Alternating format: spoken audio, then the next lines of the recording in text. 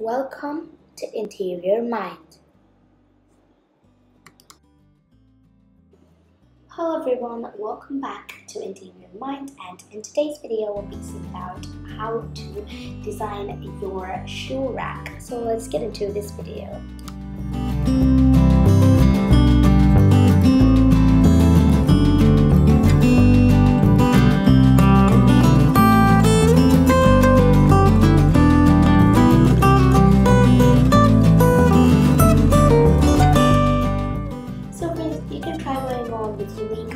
Colors for your shoe rack and you can try having unique slide door method or you can even try going on with unique racking system for your shoe rack.